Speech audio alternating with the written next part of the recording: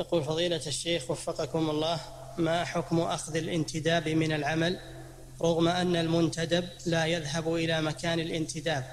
وإنما فقط تعتبر مكافأة من المدير المباشر لأنه لا يوجد تحفيز من العمل للموظف فيكافئه مديره بإعطائه هذا الانتداب. هذا يحكمه النظام الذي وضعته الدولة فإذا كان هذا يتمشى مع النظام فلا بأس. أما إذا كان هذا احتيال على النظام وكذب فهو ما يجوز. نعم.